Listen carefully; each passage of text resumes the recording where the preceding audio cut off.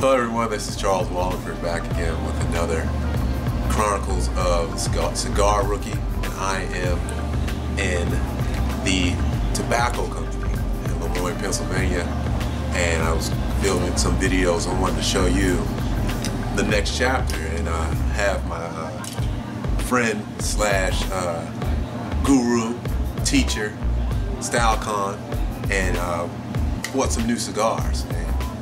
Wonderful thing if you're into cigars, you know where you live, where I live, they're a lot higher in Maryland than they are in Pennsylvania because of the taxes that are involved. So I come up to not just to do videos, but it's a great way to save some money uh, when you pick up your cigars from Pennsylvania. And I want to show you what I picked up. So starting off, Style Khan is a big, big advocate of box press. I have two box press cigars here. And they are, one is the Olivia G series, uh, Olivia Series, Series G. And this is one of the box presses, also a longer, thinner cigar. And it, he was explaining to me it's better to have them longer, but also thinner. Because of what was what's the thing with the thickness again? Uh, you get more flavor, and the majority of the flavor in all cigars comes from uh, the wrapper itself. Right. So as you add more filler, you make the cigar thicker. It doesn't taste as good as a thinner cigar. So the main thing, you don't get the flavor from the inside, you get the flavor from the outside.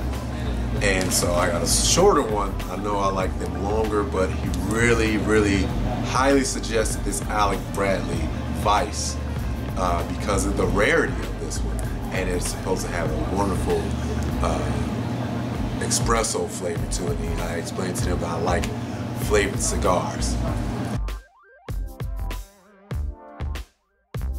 So I also picked up this Camacho. This Camacho is a barrel-aged bourbon cigar.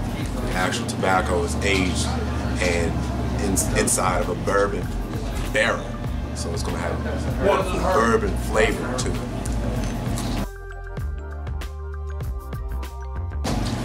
And lastly, I picked up this Insidious. I've had this Insidious before, but I've had it in larger, like Toro or Gordo, whatever they have, the 62 inch, or 62 uh, Ring. ring gauge. This is a 48 ring gauge, so it's thinner but still long. I like I like them longer, but not so. But I've, I've been told to have a much better flavor because it's not so much filler in here.